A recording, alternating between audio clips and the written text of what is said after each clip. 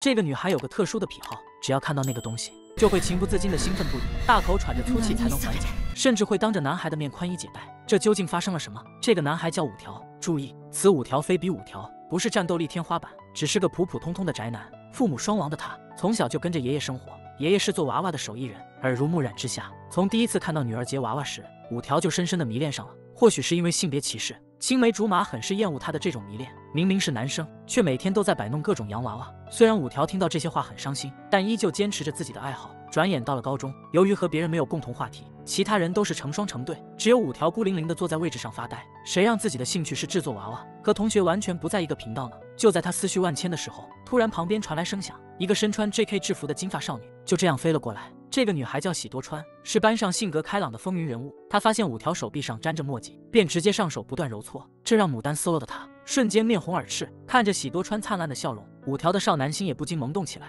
但他知道两人是不同世界的人，一个漂亮外向，处于人群的中心；一个沉默内向，脑子里只有娃娃。放学后，同学把打扫卫生的事丢给五条，恰好喜多川今天也是值班生，聪明的他一眼就看出来发生了什么事，忍不住说道：“頼られてるんじゃなくて、走られてるだけだから。 自分の気持ちは自分のために言わなきゃダメだよ。”这句话深深的印在五条的脑海中。回到家想明白一切的他，正准备踩上踏板制作衣服，却发现缝纫机已经寿终正寝。为了能继续自己的爱好，隔天放学后，五条便来到了手工社。流畅的快感让他心情雀跃，恨不得快点给娃娃穿上衣服。但不出意外的话，就要出意外了。这时，喜多川推开了门，大哥我桑。就这样，社死现场被少女看到了，但她却兴奋地表示：“ 没想到你竟然会用缝纫机。”五条如实回答道：“因为自己家是开女儿节娃娃店的，所以从小就在学。”喜多川更加惊讶了，他看着五条手里的娃娃，不由得夸赞起来，这让他很是开心，因为这是五条第一次得到同龄人的称赞。他表示自己现在只会做衣服，这个娃娃是爷爷的作品。谁知喜多川听完，直接开始脱衣服，吓得五条连忙转过身去。等到被允许回头时，五条还有点犹豫，可男人的好奇心终究还是压倒了理智。但明显是他想多了。喜多川害羞的表示，身上穿着的是自己做出来的衣服。对照着手机原图，希望会做衣服的他能提出建议。五条的专业雷达瞬间响起，这不能说一模一样吧，只能说毫无相关。不仅没有回针缝，也没有画下线，接连不断的吐槽直接把喜多川骂傻了。反应过来自己越界的五条，连忙向喜多川道歉。他表示自己没有生气，并解释道，这是在角色扮演。因为通过打扮成动漫里面的形象，可以尽情释放对角色的爱，也就是 cosplay。但因为家里没有缝纫机，周围也没有会做裁缝的人，所以只好每天放学独自钻研。说罢，喜多川突然握住五条双手，请求他帮自己制作服饰。看着一脸期待的喜多川，五条同意了他的请求。虽然自己没有做过真人穿的衣服，但依旧会竭尽所能的。这可把喜多川高兴坏了，在手工社里蹦蹦跳跳。然而当五条得知喜多川的 cos 角色是娜娜，一个超人气美少女游戏里的角色，随着喜多川介绍内容的增多，其中居然还涉及凌辱系、性奴隶，这让他感到一脸懵逼，不禁对自己产生了怀疑：到底是我见识浅薄，还是时代发展过快？真的有这种内容的游戏吗？看着面前一脸兴奋的喜多川，五条意识到这不是玩笑，面前的这位明显已经沉迷其中无法自拔了。他再次举手示意：这种游戏不是有年龄限制吗？而且女性也会对此敬而远之吧？面对第一个问题，喜多川选择蒙混过关。至于第二个，喜多川直言道：“喜欢什么和性别没有关系吧？”这让五条想起青梅竹马对自己的控诉，瞬间便充满了干劲。于是两人一拍即合，开始为 cos 服装做准备。喜多川拿出一本角色扮演服装制作方法，从布料的选择和版型的做法应有尽有，就连缝纫机的用法也一清二楚。可明明有这么简洁易懂的书籍，喜多川依旧还学不会。两人都尴尬着沉默了。隔天，喜多川来到五条家中，他对眼前的一切都充满了好奇。可五条却异常的紧张，因为这是第一次有女孩来到自己房间里。这时，喜多川表示可以开始量尺寸了。一想到昨天那本书上说的测量尺寸必须脱完只穿着内衣，五条就拒绝了这个请求。但喜多川并不在意，随即脱掉了衣服，只穿着泳衣。原来他预料到五条会不好意思，感到困扰，为了可以正常测量，便想到了穿泳衣的这个方案。迫不得已，五条开始了测量。首先是头围的数据，为了不给五条造成压力，女孩懂事的闭上了眼睛。但尽管如此，牡丹丝落的她还是忍不住手抖。看着对方落落大方的样子，五条忍不住问道：“你穿着泳衣不会觉得害羞吗？”喜多川表示完全不会，况且自己为了能变成娜娜，必须要按照书的步骤一步一步来。面对为了梦想而不断努力的少女，五条察觉到自己实在是太失礼了。他随即调整情绪，开始认真的测量。在量完身体每个部位的尺寸后，喜多川额外请求道：“可以再测量一下脚的尺寸吗？”下一秒，喜多川竟直接坐到自己的被褥上，这姿势让五条面红耳赤，上蹿下跳的表示太脏了。但无论他如何请求，喜多川丝毫没有改变自己的想法。stay，接下来是测量腿长，但这次害羞的不再是五条，而是一向不在意的喜多川。看着少女慌忙的掩饰，五条以为是天气太热又没开空调的缘故。小伙子，你可真是个大直男啊！一切测量完毕后，五条询问喜多川有没有哪哪的资料，因为制作的衣服需要打版，所以必须知道原版人物的详细内容。看到游戏后，五条愣住了，这种若隐若现的感觉。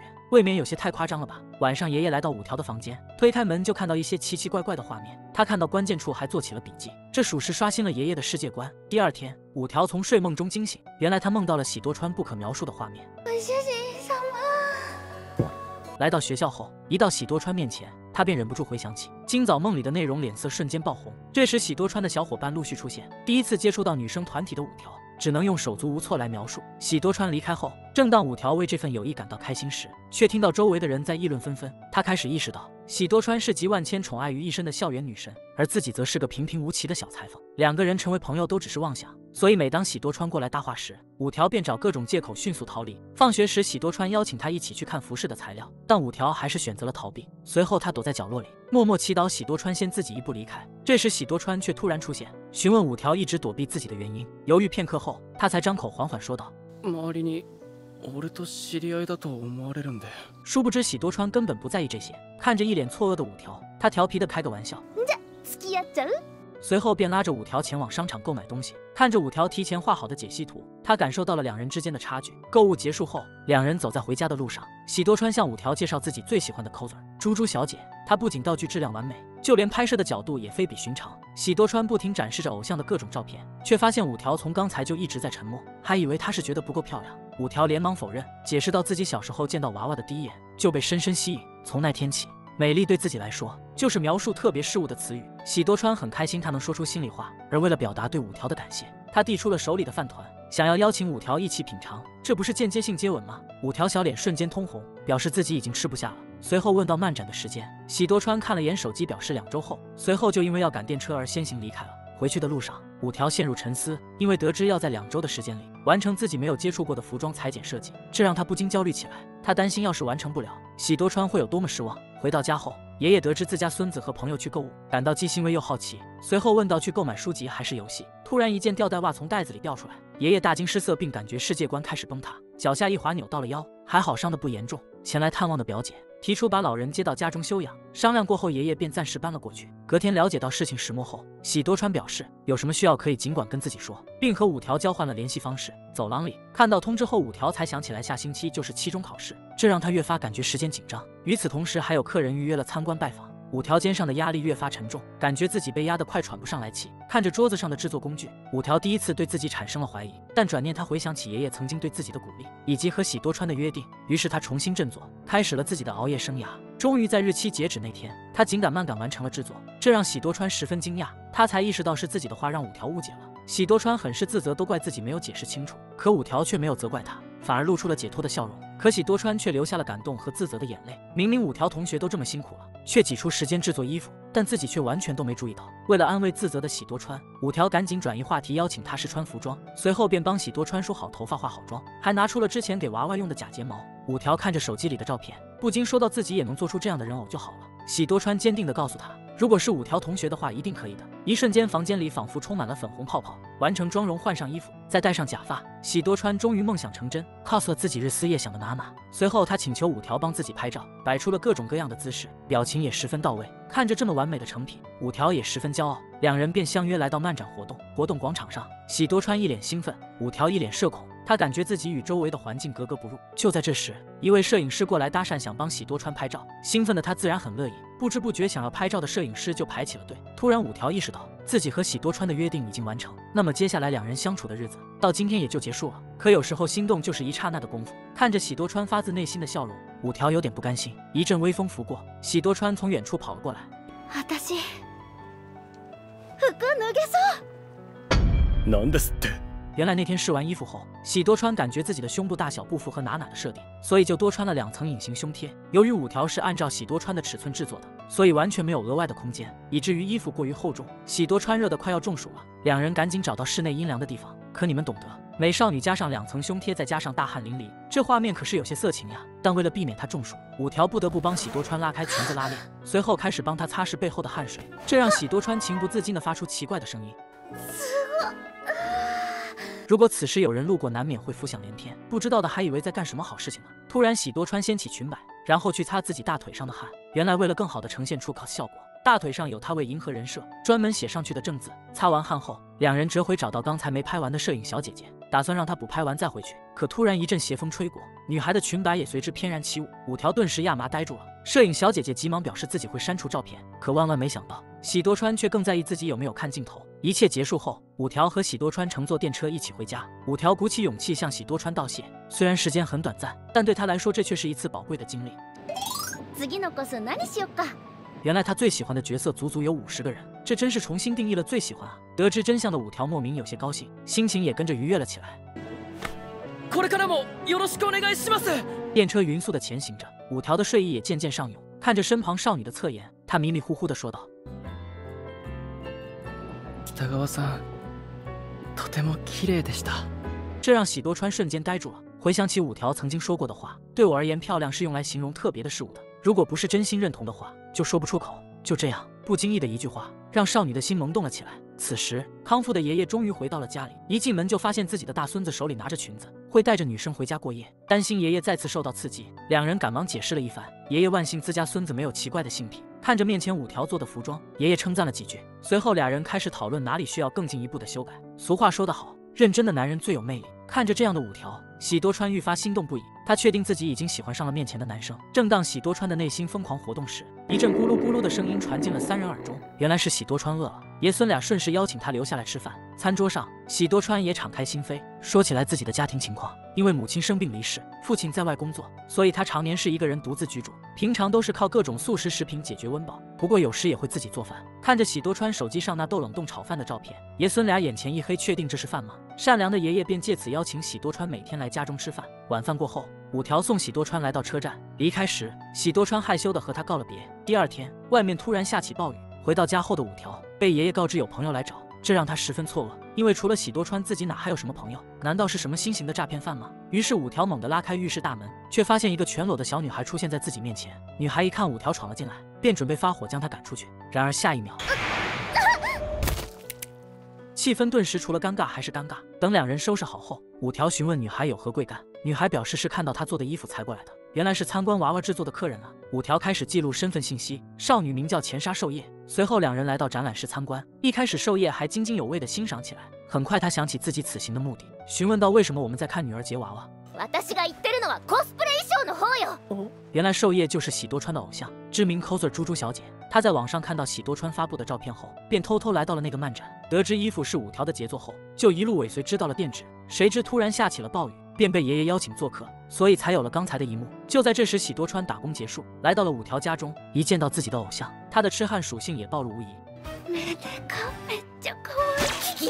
随后，寿叶请求五条帮忙制作一套二阶堂试音的黑白和形态的衣服，可由于服装设计的过于复杂，很难用现成的服装调配，所以想要专门定制一套。喜多川虽然也特别喜欢这个角色，但出于对角色的尊重，他很清楚自己的身材并不适合，便没有去强行 cos。这样有责任心的 coser 就是值得尊敬的。寿叶突然心生愧疚，他对自己以貌取人的行为感到无比后悔。但喜多川并没有放在心上，反而询问是否可以和偶像一起出姐妹装，可惜被果断拒绝了呢。但听到喜多川说要一起分摊摄影棚租金后，原本坚定的他还是没出息的答应了共同 cos 的请求。听到这，喜多川欣喜若狂。于是他和五条约定后，来自己家拿这部作品的全套 DVD。夜晚，他向爷爷告知了事情经过，爷爷不仅没有拒绝，还十分欣慰，然后夸赞起五条新做的人偶。之前还有些僵硬的地方，现在却很柔和，或许是给喜多川化妆锻炼出来的吧。爷爷表示，眼睛不能一直盯着人偶，应该去见识各种事物，总有一天一定能化为己用。到了周末，五条来到了喜多川家中，开门的那一瞬间，他的眼神不由自主地往下看，害羞地表示自己拿完东西就回家。可喜多川却不想放过两人独处的机会，他邀请五条一起在家先看几集。两个人就这样坐在沙发上，吃着布丁，追着番。喜多川后知后觉，这不就是居家约会吗？就在他暗自兴奋时，饥饿的咕噜声又不合时宜的响了起来。可刚想起身做饭，就被五条强烈拒绝。考虑到这是心上人第一次来自己家里，喜多川坚持要自己上手。于是，在一阵兵荒马乱之后，炒饭顺利出锅。看着卖相不佳的饭，喜多川有些尴尬，但一旁的五条却吃得津津有味，还夸赞了一句很好吃。喜多川瞬间就被幸福包裹了全身。回到家后，五条把服装的三视图发给猪猪征求意见。在得知无论是化妆还是制作真人服装，他都是第一次时，猪猪很是震惊，怪不得喜多川的照片不是用专业相机，而是手机拍摄。于是惜才的猪猪便教给了他一些改变眼型之类的化妆技巧，还表示这次可以用他们的相机拍摄。原来猪猪 cos 的所有照片都是妹妹拍摄的。好学的五条想请教妹妹拍照的事情，于是两人约在了一家餐厅见面。隔天，闲来无事的喜多川也跟着五条来到了约定地。原本以为猪猪的妹妹是萝莉型，谁知妹妹新瘦居然身高一百七十八厘米。看着手机上新瘦拍摄的各种照片，喜多川一通糖衣炮弹，夸的人家都不好意思了。这时，新瘦拿出从父亲那借来的相机，开始给喜多川介绍起来相机的各种款式。看着一脸兴奋的新瘦，喜多川问道：“给姐姐拍照时有想要尝试 cos 吗？”新瘦短暂的犹豫之后摇了摇头。他表示自己只要给姐姐拍照就满足了，但这短暂的犹豫还是被五条看在了眼里。隔天，一行人便来到了拍摄地点，这里是一所废弃的医院，阴森恐怖的气氛瞬间就让猪猪露出了一副凝重的表情。喜多川却觉得场地整体感觉不错，新手也表示没有什么问题。随后，他便开始传授喜多川拍摄的技巧。天气好的时候要选择逆光拍摄，肌肤的质感看起来也会比较好，并且要学会用反光板打光，这样会使画面变得更漂亮。而五条和猪猪这边呢？这阴森的场景让猪猪止不住的害怕，便缩在楼梯口瑟瑟发抖。五条提议道：“要不你回去入口等待。”可话还没说完就被一口否决。猪猪表示自己很期待这次的拍摄，所以一定要亲自确认场地的各种细节。五条疑惑道：“你为什么一直这么执着？”原来猪猪从小的梦想就是成为魔法少女，可随着年龄的增长，他知道这只是虚幻的世界。直到他发现售卖魔法少女的服装时，他的梦想那一刻又回来了。于是猪猪开始了第一次的 cos 尝试，虽然有些粗糙，但自己却由衷的开心。这番话让五条更加好奇了。明明是那么重要的服装，明明有那么多比自己厉害的人，为什么要委托自己呢？猪猪表示，自己第一次见到喜多川的 cos 时，就不由得产生了嫉妒之情。说是嫉妒，但其实更多的是羡慕。他也迫切的想要穿上这个人制作的衣服。这份感情或许没有人能够理解吧。五条再次陷入了回忆，他想起了自己小时候第一次见到娃娃的喜爱，也是同样的感受。五条感动得热泪盈眶，结果那张脸在闪电的映照下，直接把猪猪吓晕了过去。第一次的拍摄之旅就在混乱中结束了。不知不觉快到了暑假，喜多川邀请五条一起来海边，还没等手里的汉堡进肚子里，就被突然出现的老鹰叼走了。两人走走停停，可身后的老鹰就是阴魂不散。为了能更好的和喜多川野餐约会，五条瞬间男友力爆发，用薯条来了个调虎离山之计，拉着喜多川摆脱了老鹰的追踪。两人随后坐在野餐垫上，分享着仅剩的一个汉堡。突然，喜多川决定下海玩水，可群底时不时露出的绝美风景，让五条的脸红得跟泡泡茶壶一样。第一次来到海边的五条，看着脚下冰冷的海水。回想起爷爷给自己说过的话，眼睛不能一直盯着人偶，应该去见识各种事物。他终于理解这句话的含义了。喜多川这时突然勇敢了起来。じゃあ、私といろんなとこ行こうよ。いいんですか？因为害羞，他便借口口渴回去喝水。来到岸边， 喜多川情不自禁地举起手机，恰好拍下了五条被海浪打翻的一幕。不得不说，青春的气息真是旺盛呀。几天后，猪猪来到五条家做服装的最后调整，五条开始用猪猪教的技巧。帮喜多川化了妆，并补充了细节。首先是改变眼型，先是用胶布从眼角一点一点斜着向上贴，贴好之后用发夹把胶布固定在发网上。大功告成之后，呈现在喜多川眼前的就是这幅景象。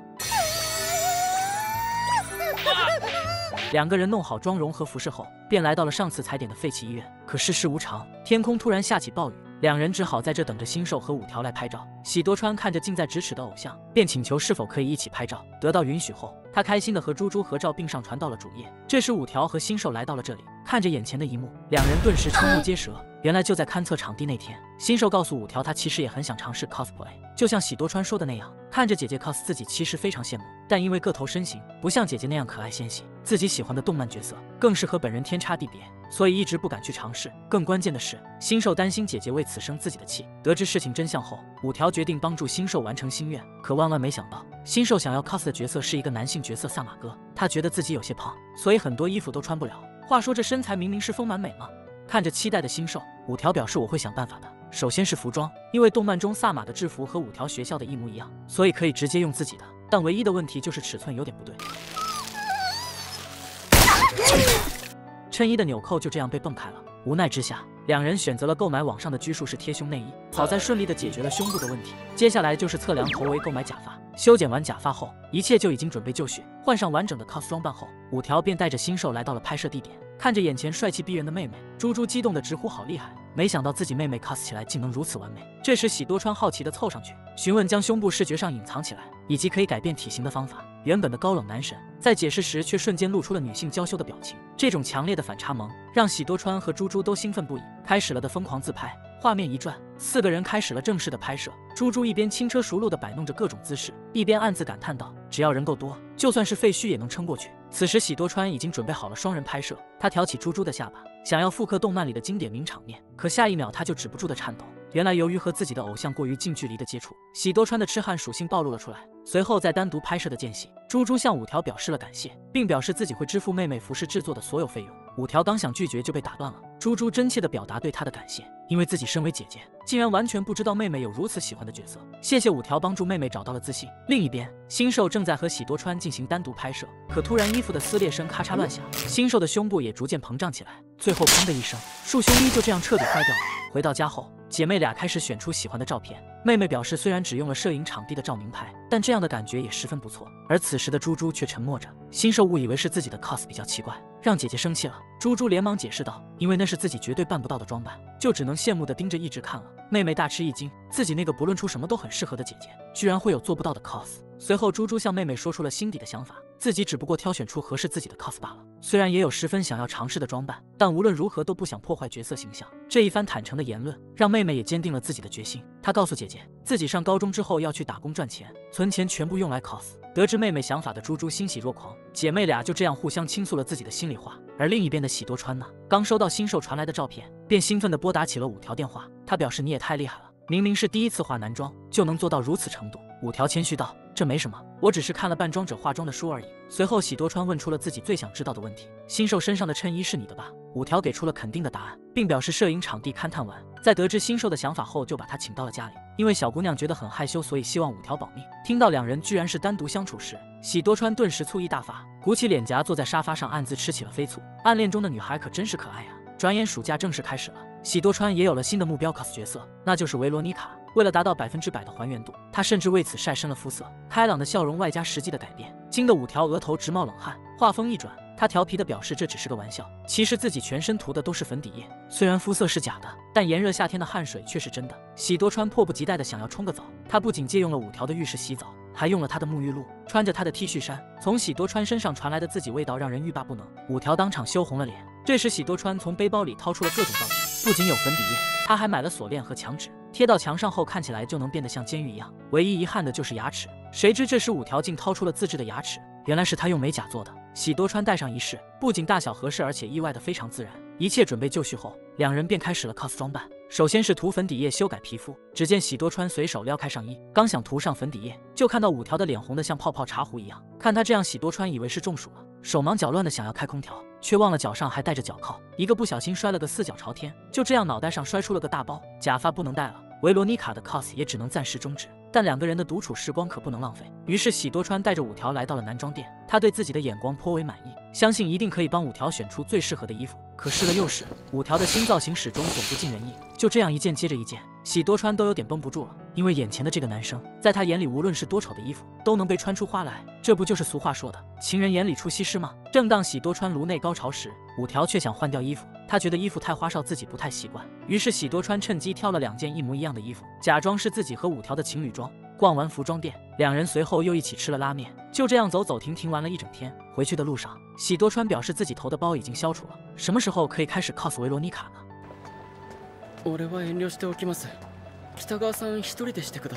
气氛瞬间凝固起来。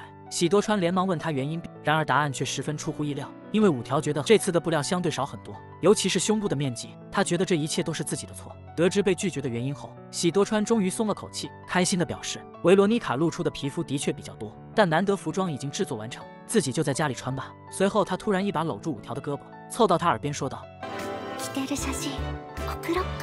这下又把五条给害羞的语无伦次了。几天之后，喜多川邀请五条一起看漫画。两人来到漫画咖啡厅后，狭小的房间内，喜多川身上散发的香味让五条有点局促不安。随后，喜多川给他推荐了一本漫画，漫画的女主是一个可爱的魅魔，每天就是想方设法和男主睡觉。虽然剧情有些奇怪，可其实这是一本非常治愈的日常漫画呢。虽然自己很喜欢这个角色，但喜多川并不想 cos，因为他觉得自己没有魅魔这么可爱，无论长相还是体型都不符合角色。但旁边的五条这时观察起他的脸型。一脸认真的表示，如果只是因为脸型的问题，完全可以靠化妆技术改变。听到自己的心上人都这么说了，喜多川还有什么理由拒绝呢？随后，喜多川出去拿东西时，五条才后知后觉的发现，梦魔的衣服制作十分困难，因为漫画原版是简易的画风，所以完全看不出来细节的服化道。不仅如此，这个人物的背后全被头发遮盖，也就是说，和往常的制作不同，这次只能靠五条自己想象设计了。晚上回到家后，喜多川表示自己发现了和主角家很像的摄影棚，便二话不说直接预约了。于是第二天，两人相约来到了摄影棚前。话说这明明是情侣酒店吗？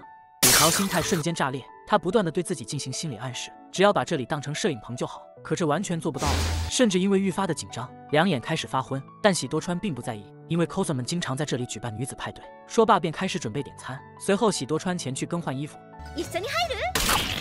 为了消除紧张不安的情绪，五条决定看电视转移注意力。这时喜多川换好衣服就要出来，走出来的喜多川对着自己身上的魅魔装赞不绝口，不停夸赞着五条手艺的精湛。但五条却显得闷闷不乐，因为这些毕竟只是他自己的想象，完全不知道是否符合人物原型。暖心的喜多川安慰道：“每个人的制作都灌输了那个人独特的想法，可以说这反而是优点所在，所以不必太过纠结这些就好。”听了这番话，五条也释然了。接着他又帮忙戴好假发、化好妆，与喜多川往常大大咧咧的形象不同，这次的 cos 对象更多是娇羞，这让五条也情不自禁的脸红起来。而看着五条制作的各种小道具，喜多川迫不及待的拿起试玩，一切准备就绪后，两人便开始了拍拍拍。到最后一个环节，这次要重现的是丽兹演唱摇篮曲的场景，但是拍了几张后，五条总觉得哪里不对劲，经过提醒后才发现，原来是需要从第一视角拍摄。于是五条立刻躺倒在床上，要求喜多川坐在自己身上。就这样。拍摄顺利结束，突然这时隔壁传来了不可描述的声音，两人才终于反应过来这是在情侣酒店，偏偏他们的姿势也很不可描述。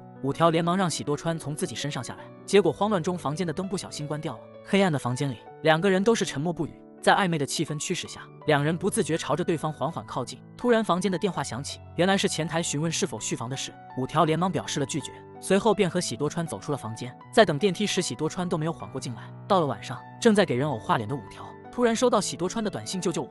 五条匆忙赶到，才得知一切仅仅只是因为喜多川的暑假作业还没写完，便被他的爸爸取消了两人一起前往夏日祭典的计划。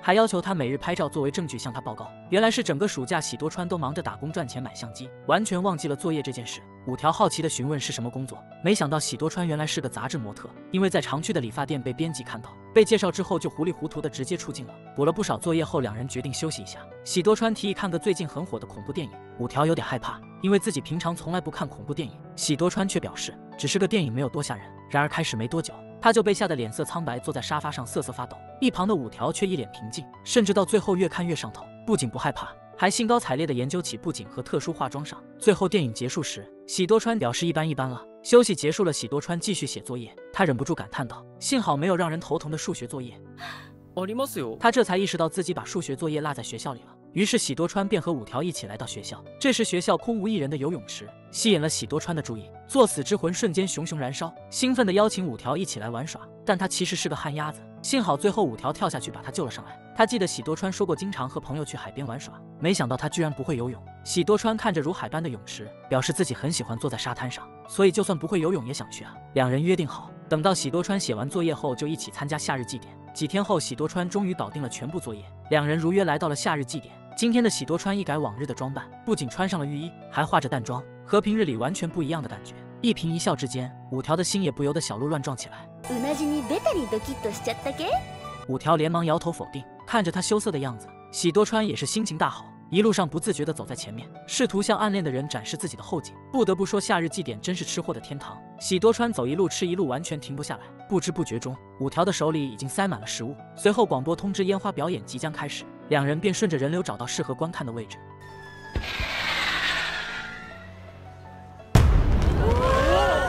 伴随着火药味和人群的欢呼声，漫天的烟花开始了绚烂的绽放。烟花之下的两人，在茫茫人海中是那样的光彩夺目。五条回想起往年的自己，都只是在屋子里看着远处的烟火，但今年看着一旁的喜多川，他知道自己不再是孤孤单单的一个人。夏日祭典结束了，喜多川的脚却被木屐勒得通红，于是五条便背着他一起去。散发着香气的女孩离自己如此的近，任谁也忍不住小鹿乱撞吧。喜多川却高兴的手舞足蹈。就这样。喧闹过后归于宁静，两人也渐渐远离了人群。在气氛的烘托下，喜多川愉快地发出邀请，一起试试走遍关东所有的烟火大会吧。嗨，行きましょう。 晚上回到家后，人菜瘾大的喜多川再次打开了恐怖电影，被吓得不敢单独睡觉的他，只好给五条打去电话。甚至在洗澡时，浴室里不经意掉落的水滴。对于神经如此紧张的喜多川，五条只好选择打开扬声器，试图通过聊天转移他的注意力。就这样，不知道絮絮叨叨了多久，手机那头，五条的声音逐渐弱了下去。喜多川脑海中回忆起两人之间的点点滴滴，就是这样一个原本不起眼的人，给予了自己帮助与温暖。等到确认他完全睡着后，喜多川终于说出来自己的心意。五条くん好きだよ即便喜多川很清楚五条对此一无所知，但时光与他恰似正好，未来依旧很长。总有一天，他会当着他的面亲口说出那句最动听的话。おやすみまたね